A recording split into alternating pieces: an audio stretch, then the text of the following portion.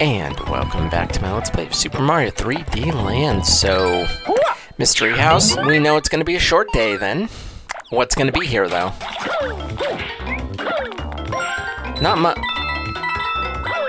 Have I been here?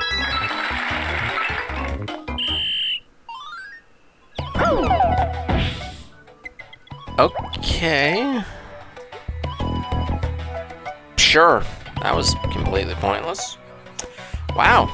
Yeah, that really was. Took no time at all. I I was honest. It was going to be a short video. Just didn't realize that short.